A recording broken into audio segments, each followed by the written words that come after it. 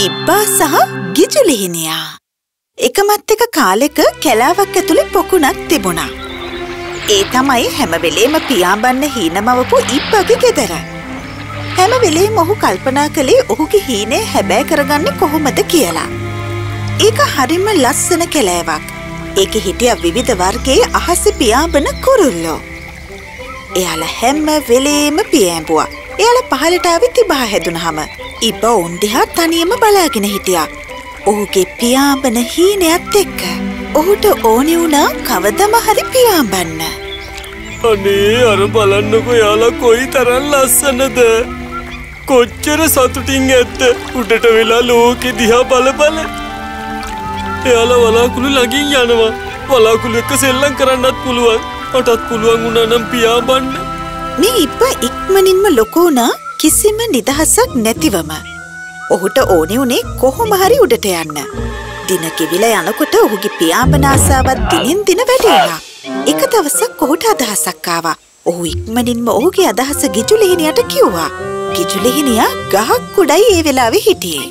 ගිජුලිහිනි යාළුවේ යාළුවේ කොහොමද යාළුවේ දැකීමත් සතුටක් කියන්න මොකද ප්‍රශ්නේ ඇයි මේ ඔයාද පොකුණෙන් එලියට වෙලා ඉන්නේ? මගේ යාළුවේ ඔයා මේ කැලේ ඉන්න ගොඩක් ශක්තිමත්ම කෙනෙක්. ඔයාට අනික් අයට වඩා ආසෙ ගොඩක් උඩ පියාඹන්න පුළුවන්. ඔයාගේ කතාව හරි. මට ඇත්තටම හිතාගන්න බෑ. ඔයා මොකදද මට හොඳට සලකන්නේ කියලා. ඒ වගේම ඇයි ඔයා මේ පියාඹනෙක් ගැන කතා කරන්නේ? ඔයාට මොනවද මගෙන් කෙරෙන්න ඕනේ?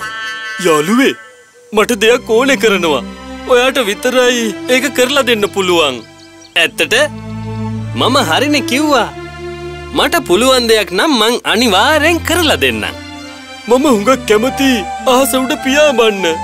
ඒ වගේම මට පහලින් තියෙන ලෝකෙ දිහා බලන්නත් ඕනේ. ඒත් ඉතින් කොහොමද ඒක කරන්නේ? ඔයාට පේන්නේ නැද්ද පියාඹන්න පියාටු ඕනේ? ඔයාට පියාටු නෑනේ මගේ යාළුවේ. ඒක තමයි මට ඔයාව ඕනේ. ඔයා මාව අහස උඩට අරගෙන ගිහිල්ලා උඩති මාව අතෑරලා දාන්න.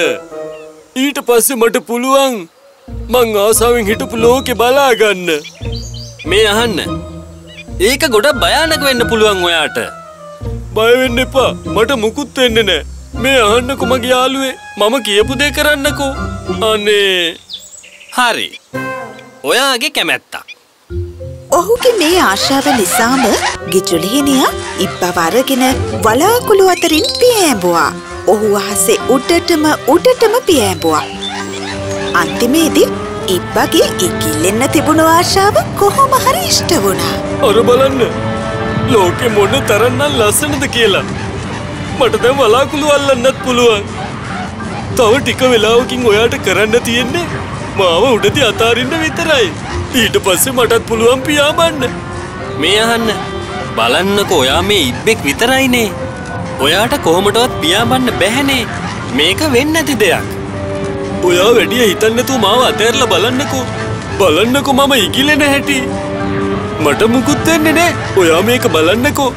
ගිජුලිහිනිය ඔහුට තේරුම් කරන්න උත්සාහ කළා. ඒත් ඉබ්බ ඒව ඇහුවේ නෑ. අන්තිමේදී ගිජුලිහිනිය ඉබ්බව අතහැරියා.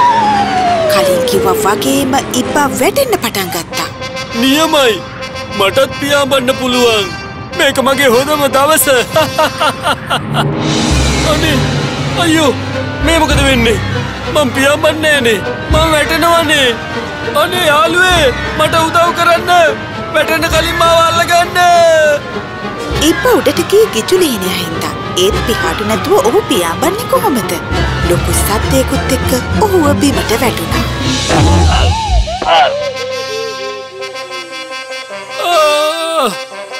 අම්මෝ ගොඩ රිදෙනවෝ මං මොකද්ද මේ කළේ මම හරිම මෝඩ ඉප්පෙක් ඉජුලේනිය මට අනතුරු අගවන්න උත්සාහ කළා. ඒත් මං ඒක ඇහුවේ නෑනේ. මං වාසනාවන්තයි. මගේ පිටේ කටුවක් තියෙන හින්දා. ඒක නොතිබුණා නම් තමයි මගේ ජීවිතය අවසාන වෙන්නේ. ඉබ්බ ඔහුගේ වැරැද්ද තේරුම් ගත්තා. එයාට තේරුණා එයා වෙනස් කෙනෙක් කියලා. ඊට පස්සේ ඔහු නැවතත් ඔහු කලින් ජීවත් වුණු පොකුණට ගිහිල්ලා ගොඩාක් සතුටින් ජීවත් වුණා. දැක්කද? ඉබ්බගේ වැරැද්ද නිසා සිද්ධ වුණු දේ? ඒත් ඒකෙන් කියවෙන්නේ අපේ හිත්වල හීන තියාගන්න එපා කියලද අනිවාරෙන් තියාගන්න ඕන හීනයක් තියාගන්න පුළුවන්. හරියටම හරියන හීනය තෝරගන්න. හරිම කල්පනාවෙන්.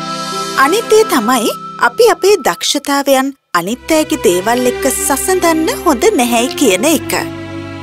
අපි හැමෝම වෙනස් ඒ වගේම හැමෝම විශේෂයි.